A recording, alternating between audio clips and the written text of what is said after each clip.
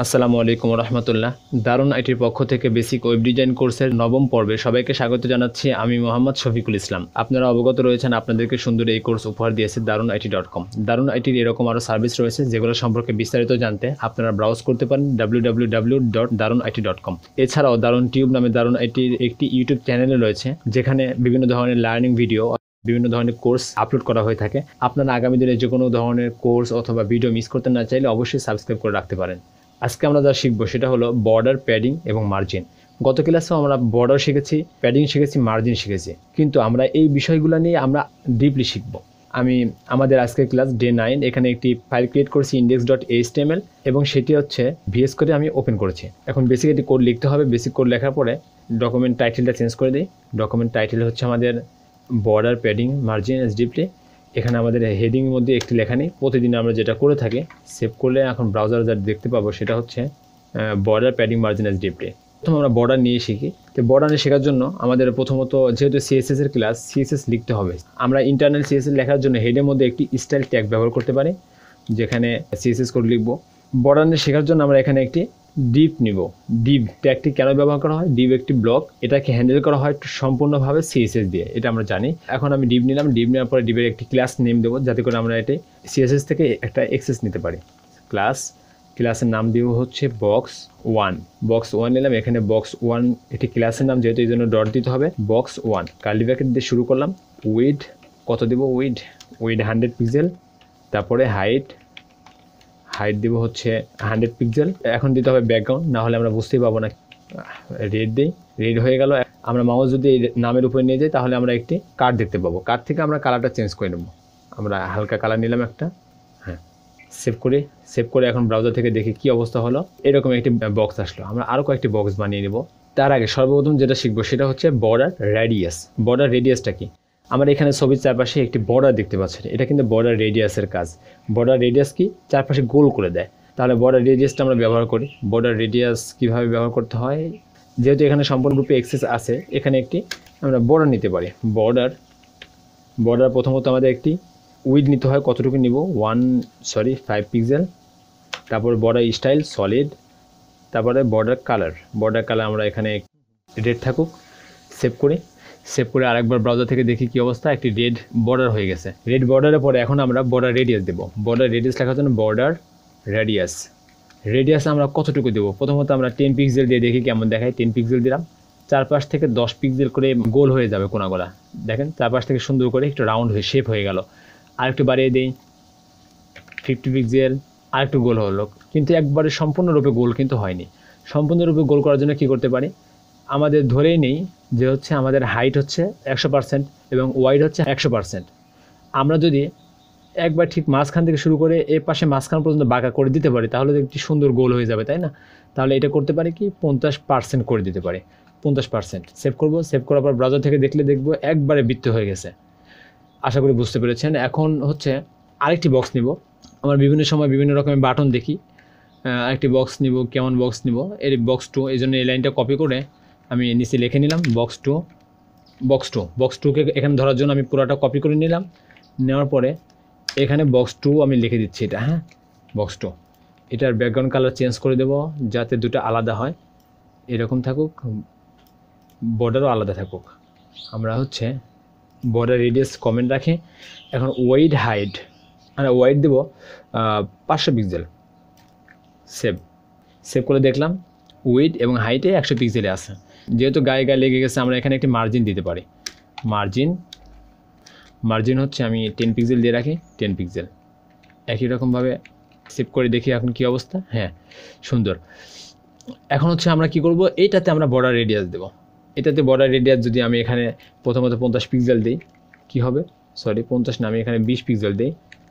Save করে দেখি কি অবস্থা। চারপাশ থেকে বিশ পিক্সেল বাঁকা হয়ে গেল। এখানে আমি আগের মতো যদি আমি পঞ্চাশ পিক্সেল দিই, একটু বেশি বাঁকা হবে। তাই না? এরপরে দেখেন এইখানে কিন্তু সামান্য বাঁকা হওয়া বাদ আছে, তাই না? এই বাঁকা হওয়া বাদ থাকাকে আমি কীভাবে ম্যানেজ করতে পারি? তাহলে কি এবারও পঞ্চাশ পার্সেন্ট দিয়ে দেবো? পঞ্চাশ পার্সেন্ট দিলে দেখেন কী ঘটনা ঘটে? কেমন হয়ে গেল? আমরা তো এমনটা যাচ্ছি না। আমরা আরেকটি বক্স নিই। Box three box three box three হচ্ছে এইটা। Copy box sorry box three box three এর কালার চেঞ্জ করে দেব। কালার হচ্ছে এরকম দিয়ে রাখি। এটার কালার হচ্ছে এরকম দিলাম, এখানে একটি মার্জিন দিতে হবে। মার্জিন টেন পিক্সেল সেভ করে দেখি ব্রাউজারে হ্যাঁ। আমরা যেটা চাচ্ছি সেটা হচ্ছে কি, এখানে লম্বাই থাকবে, কিন্তু দুপাশ থেকে সামান্য বাঁকা থাকবে। এটা করার জন্য কেমন করা যেতে পারে? আমরা এখানে, আমাদের হাইট কত? আমাদের হাইট আছে একশো পিক্সেল আমরা যদি এখানে পঞ্চাশ পিক্সেল দিয়ে দিই, তাহলে আমাদের ঠিকমতো হচ্ছে না। আমরা কী করি? একশো পিক্সেল দিয়ে দিই। একশো পিক্সেল আমার যত, যতটা হাইট আছে ততটাই দিলাম।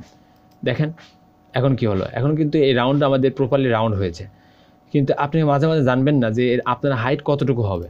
এই জন্য আপনি যদি কখনো এরকম কোনো বাটন তৈরি করতে চান, আমরা বাটনই তৈরি করতে চাচ্ছি, মাঝখানে কোনো লেখা লিখলে লিখতে পারি এখানে বাটন বাটন সেভ করি সেভ করার পর দেখি ব্রাউজারে এখানে চলে আসছে।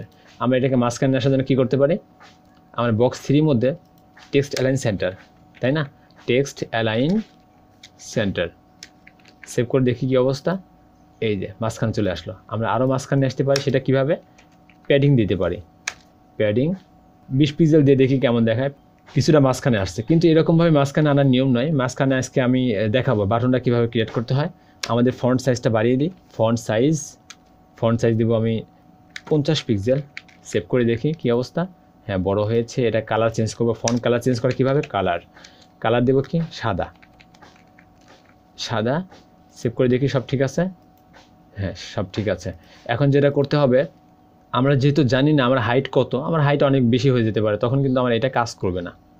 হ্যাঁ একশো পিক্সেলে বেশি হয়ে গেলে কাজ করবে না। যেমন আপনার হাইট এখানে একশো পিক্সেল আছে, আপনি এখানে একশো পঞ্চাশ পিক্সেল দিয়ে দেন। দেখেন কী ঘটে আবার। হয়তো বা কিছুটা ঠিক আছে, আপনি এখানে আরেকটু বাড়িয়ে দেন। দুইশো পঞ্চাশ। এবার কিন্তু আর ঠিক নেই। এবার কিন্তু ঝামেলা হয়ে গেল। তো এখান থেকে বাঁচার জন্য যেটা করা যেতে পারে, সেটা হচ্ছে এখানে বর্ডার রেডিয়াস আমাদের বর্ডার রেডিয়াসের কাছে আমরা সর্বোচ্চ মান দিয়ে দিতে পারি। কীরকম? আমরা সর্বোচ্চ মান নাইন নাইন এরকম একটা নাম্বার দিয়ে পিক্সেল দিয়ে দিতে পারি। তাহলে দেখবেন সবসময় একটি প্রপারলি গোল হয়ে গেছে। সবসময় গোল থাকবে। যত বড়ই আপনার হাইট হোক, সবসময় গোল থাকবে। এখন বিষয় হচ্ছে কি বর্ডারের মাঝখানে যে লেখাটা আছে, সেই লেখাটা মাঝখানে আনব কীভাবে? আমরা যেটা করতে পারি, আমরা এখান থেকে হাইটটা মুছে দেবো। হাইটটা এখান থেকে মুছে দিলাম, তাহলে কি হবে? হাইটটা সরাসরি যতটুকু দরকার ততটুকু নেবে। দেখেন, এখন এটা মাঝখানে থাকার কথা। এভাবে আপনি একটি সুন্দর বাটন বানিয়ে ফেলতে পারেন এই ছিল আমাদের বর্ডার রাডিয়াস আমরা বর্ডার রাডিয়াস যেখানে লিখেছি, সব পাশে একরকমভাবে লিখেছি। আমরা বক্স ফোর নামে আরেকটি বক্স নেব। বক্স ফোর এবং এখানে আমরা বক্স থ্রিকে কপি করে বক্স ফোর বসিয়ে দেব। বক্স ফোর সেভ করি সেভ করার পরে আগে এখান থেকে কালারগুলো চেঞ্জ করে নিই। কালারগুলো চেঞ্জ করার জন্য এরকম, তারপরে এখান থেকে ওয়াও হ্যাঁ এই কালারটা নিলাম। এখন আবার সেভ করে দেখি কী অবস্থা আমাদের।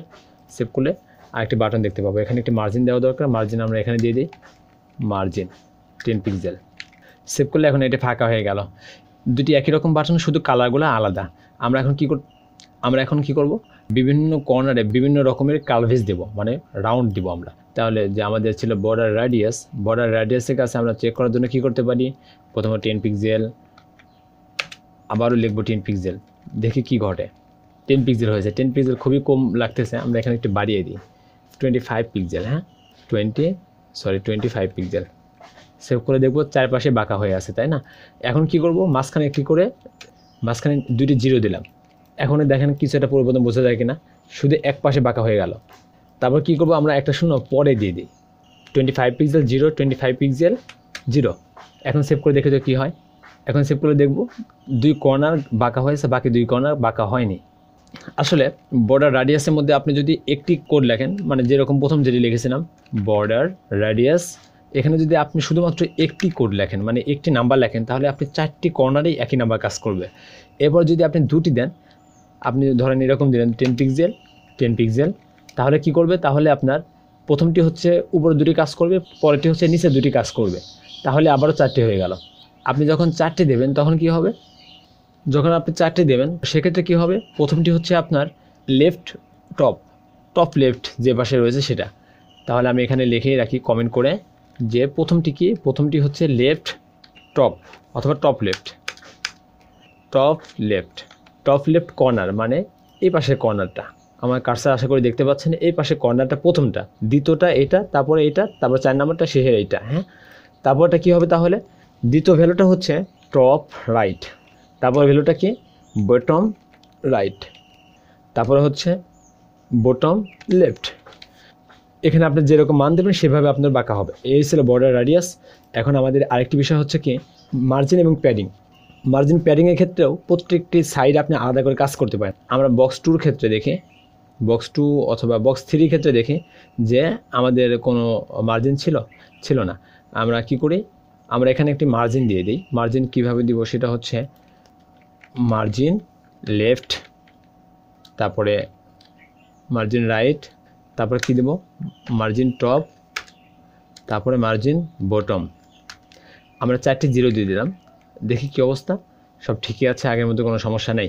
এখন যদি আমি মার্জিন লেফটে আমি ফিফটি পিক্সেল করে দিই, তাহলে কী ঘটে? এপাশ থেকে মার্জিন লেফটে ফিফটি পিক্সেল চলে আসলো। মার্জিন রাইটে এখানে আমি যাই দেবে, ওখানে অনেক জায়গা আছে, বুঝতে পারব না, থাক এটা। এবার মার্জিন টপে আমি যদি এখানে হান্ড্রেড পিক্সেল করে দিই, তাহলে কী ঘটে? সরি হান্ড্রেড পিক্সেল সেভ করে দেখি কি হয়। দেখেন, একশো পিক্সেল নিচে চলে আসলো। মার্জিন বোটমে যদি আমি এখানে হান্ড্রেড ফিফটি পিক্সেল করে দিই, তাহলে কী ঘটবে? দেখবেন নিচে আরও নিচে চলে আসবে। বুঝতে পেরেছেন? চারটা লাইন আমরা একটা লাইনের মাধ্যমে লিখতে পারি। সেটা কীভাবে লেখা যায়? সেটা হচ্ছে দুঃখিত। এখানে আমরা মার্জিন নিলাম। মার্জিন মার্জিন নেওয়ার পরে প্রথমত ফিফটি পিক্সেল তারপরে জিরো হান্ড্রেড পিক্সেল তারপরে হান্ড্রেড ফিফটি পিক্সেল সেভ করি। ফিফটি পিক্সেল হচ্ছে টপের জন্য হবে। সেভ করে দেখে কী অবস্থা। ফিফটি পিক্সেল টপের জন্য তারপর হচ্ছে জিরো পিক্সেল হচ্ছে আমাদের এই পাশের জন্য রাইটের জন্য, এরপরে হান্ড্রেড পিক্সেল হচ্ছে নিচের জন্য বটমের জন্য এবং হান্ড্রেড ফিফটি পিক্সেল হচ্ছে লেফট সাইডের জন্য। তাহলে প্রথমত কী হবে আমাদের? প্রথম যেহেতু টপ হবে, আমরা এইটা এখান থেকে সরিয়ে দিই। টপ রাইট বটম লেফট এই সিরিয়ালে হবে। তাহলে এখানে আমরা একটি কমেন্টে লিখেও রাখি। মার্জিন হবে কীরকম? প্রথমে হবে টপের ভ্যালু তারপরে রাইটের ভ্যালু তারপরে বটমের ভ্যালু তারপরে হচ্ছে লেফটের ভ্যালু হ্যাঁ? আপনি যে ভ্যালু যেমনটা দেবেন, সেখানে সেরকমই কাজ করবে। আচ্ছা আপনি যদি মার্জিন লেফট সাইড যদি আপনি একশো পার্সেন্ট করে দেন, তাহলে কি ঘটে? এখানে মার্জিন লেফট কোনটা? মার্জিন লেফট হচ্ছে একশো পঞ্চাশ পিক্সেল আছে। আমরা এখানে একশো পার্সেন্ট করে দিব। একশো পার্সেন্ট সেভ করে দেখে তো কী হয়। সেভ করে দেখব একশো পার্সেন্ট বাইরে চলে গেছে হ্যাঁ? তাহলে এখন আমরা মার্জিন লেফটে একশো পার্সেন্ট না করে দিয়ে অটো লিখে দেবো। অটো লিখে দিলে কী ঘটে দেখেন তো? অটো লিখে দিলে আপনার একদম রাইট সাইডে চলে গেল। এবার কিন্তু আর ব্রাউজারের বাইরে যায়নি। একই রকমভাবে যদি আমরা এ পাশ থেকে অটো লিখি মানে আমাদের যে রাইট সাইডের ভ্যালু রয়েছে টপ রাইট রাইট সাইডে যে ভ্যালু আছে, এখানে যদি আমরা অটো লিখি, তাহলে কী ঘটে? দেখব এটা মাঝখানে চলে আসছে। ঠিক মাঝখানে চলে আসছে। তাহলে এটা আমরা আরেকভাবে কাজ করতে পারি। এই মার্জিনকে শুধুমাত্র চারটি ভ্যালু না মার্জিনকে দুটি ভ্যালু দিয়েও কাজ করা যায়। কীভাবে? মার্জিন। প্রথমত দিয়ে দিলাম টপ এবং বটমে ভ্যালু পঞ্চাশ পিক্সেল এবং তারপরে লেফট এবং রাইটে ভ্যালু অটো। আমরা এখন এটা কমেন্ট করে দিই উপরের লাইনটা। তাহলে তো এটা কাজ করবে না, নিচের লাইনটা কাজ করবে। তাহলে নিচের লাইনে এখন কী হবে? উপরে নিচে পঞ্চাশ পিক্সেল হবে আর মাঝখানে ঠিক মাঝখানে থাকবে। ঠিক মাঝখানে আছে এখন। তাহলে আমরা কি বুঝলাম? যখন আমরা একটা ভ্যালু দেব, তখন চার সাইডে কাজ করবে। যখন দুইটা ভ্যালু দেব, তখন হবে কি? মার্জিন। প্রথমত হবে টপ আর হচ্ছে বটম তারপরে কি হবে? লেফট এবং রাইট লেফট এবং রাইট মার্জিন সম্পর্কে আশা করি এতটুকু বুঝতে পেরেছেন। আমরা এই মাঝখানে আসার জন্য আরেকটি বক্স নিই বক্স ফাইভ এখানে ডট বক্স ফাইভ বক্স ফাইভের মধ্যে কী নিব? Width five hundred pixel height height দিব না থাক। হাইট না দিয়ে কী করব এখান থেকে? বর্ডার দিব শুধু। Border one pixel solid black এবার কি করব? এখান থেকে বক্স ফাইভ নামে একটি বক্স নিব। কপি করে এখানে বক্স নিলাম। বক্স ফাইভ বক্স ফাইভের মধ্যে এবার সরাসরি বাটন না দিয়ে এখানে একটি পিন ট্যাগ নেব। পি ট্যাগের মধ্যে কী লিখব? যে হচ্ছে হ্যালো এখন পির একটা ক্লাস দিব। ক্লাস পি আর এ প্যারা। অর্থাৎ প্যারাগ্রাফ বোঝাচ্ছি আমি। এই ক্লাসকে অ্যাক্সেস নেওয়ার জন্য কী করতে পারি আমরা এখানে? এখানে একটি ডট প্যারা দিতে পারি। দেওয়ার পরে এখানে আমরা বলে দেব যে হচ্ছে মার্জিন সরাসরি অটো দিলে চারপাশ থেকে অটো হয়ে যাবে। উপরে নিচে কত দিব উপরে নিচে আমরা দেব ফিফটিন পিক্সেল আর ডানে বামে অটো তাই তো? উপরে নিচে টপ বটম আর হচ্ছে ডানে বামে লেফট রাইট কেমন? সেভ করে দেখি কী অবস্থা। আমাদের আরেকটু কাজ করতে হবে অবশ্য। এটা এই পাশেই রয়ে গেছে। আমাদের কাজ করতে হবে কি? এখানে আমাদের একটা উইড দিতে হবে। উইড হান্ড্রেড পিক্সেল এখন দেখেন ঠিক মাঝখানে চলে আসবে। সেভ মাঝখানে চলে আসলো।